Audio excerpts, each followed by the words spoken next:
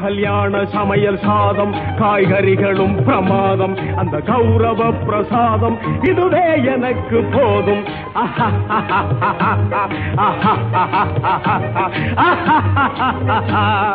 மின்னாலியா TV நேயர்கள் அனைவருக்கும் வணக்கம். இன்னைக்கு நம்ம மின்னாலியஸ் கிச்சனில் என்ன பார்க்க போகிறோம் அப்படின்னு பார்த்தீங்கன்னா ரைஸ் வெஜிடபிள் கட்லட் செய்கிறது அப்படின்னு சொல்லி பார்க்க போகிறோம்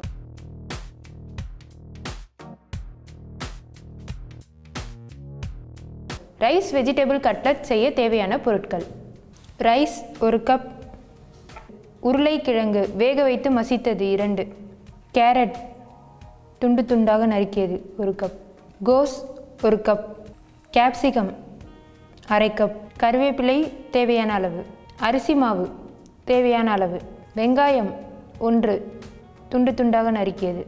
இஞ்சி பூண்டு விழுது தேவையான அளவு. வெறும் மிளகாய்த்தூள் தேவையான அளவு. உப்பு தேவையான அளவு. எண்ணெய் தேவையான அளவு. முதல்ல ஒரு பாத்திரத்தை எடுத்து வச்சுக்கோங்க. நம்ம மிக்சிங் தான் பண்ண போகிறோம் ஸோ ஃபஸ்ட்டு ஒரு பாத்திரம் எடுத்து வச்சுக்கோங்க. ரைஸை வந்து இதில் போட்டுக்கோங்க. அடுத்து நம்ம வேக வச்சு மசிச்சு வச்சுருக்கோம் இந்த உருளைக்கிழங்கு இதில் ஆட் பண்ணிக்கோங்க. இது ரெண்டுத்தையும் போட்டு நல்லா மிக்ஸ் பண்ணிக்கோங்க. இப்போ இது நல்லா மிக்ஸ் ஆகிடுச்சு அடுத்து நம்ம கோஸ் ஆட் பண்ணிக்கலாம்.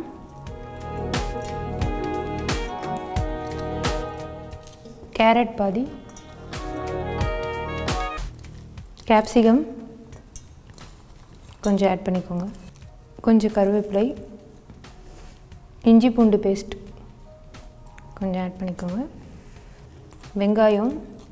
இப்போ இதை போட்டு நல்லா எல்லாத்தையும் மிக்ஸ் பண்ணிக்கோங்க.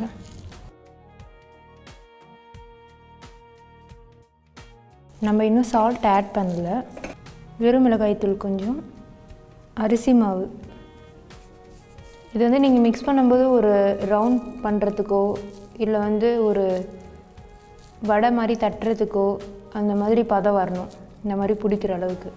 சால்ட்டு தேவையான அளவு. இப்போ இது நல்லா மிக்ஸ் ஆகிடுச்சு இப்போ ஒரு உருண்டை மாதிரி இதை பிடிச்சிக்கலாம். இந்த மாதிரி பால் மாதிரி பிடிச்சிக்கோங்க.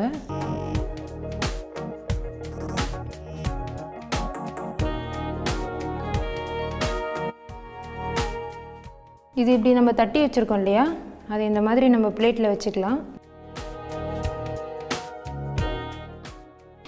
இப்போ எல்லாத்தையும் நம்ம மிக்சிங் பண்ணி இந்த மாதிரி தட்டி எடுத்து வச்சுருக்கோம். நெக்ஸ்ட் இதை வந்து ஆயிலில் போட்டு டீப் ஃப்ரை பண்ணிடலாம். ஸ்டவ் ஆன் பண்ணிக்கோங்க. கடாய் வச்சுக்கோங்க. கடாய் நல்லா ஹீட் ஆயிடுச்சு. இப்போ நம்ம ஆயில் ஊற்றிக்கலாம் இந்த மாதிரி ரெடி பண்ணி வச்சுருக்கிறத அரிசி மாவில் பெரட்டி ஆயிலில் போடணும். இது இந்த மாதிரி பெரட்டிக்கோங்க மாவில். ஆயில் நல்லா காஞ்சிருச்சு. அரிசி மாவில் இந்த மாதிரி பெரட்டி ஆயிலில் போட்டுக்கலாம்